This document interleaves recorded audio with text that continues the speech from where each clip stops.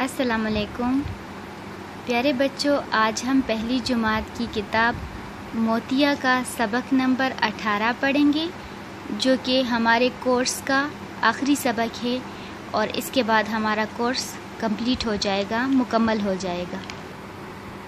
प्यारे बच्चों, इस सबक को आप लोग अपनी कॉपियों में लिख लो। ये आपका मजमून है, मजमून में। इसको बिल्कुल इसी तरीके से अपनी कॉपियों में लिखें। मेरा नाम देश है।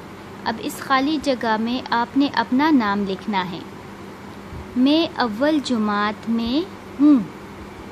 मुझे पढ़ने का शौक़ है। मुझे अपने माँ बाप से प्यार है।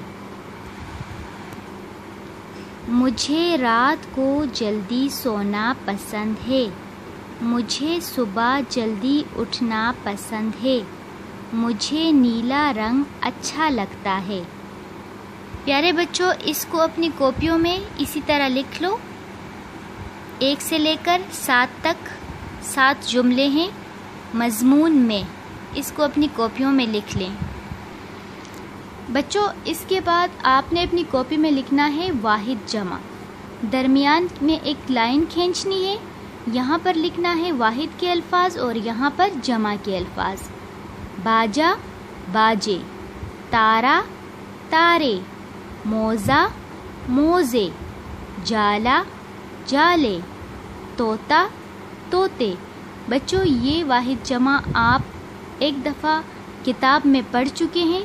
ये उसकी दोहराई है। आप इसको अपनी कॉपियों में लिख लें। और इसके साथ ही आ, पहली जुमात का कोर्स मुकम्मल हो गया। और इसी में आपका पेपर भी आएगा और यही काम आपने लिखना भी है और याद भी करना है।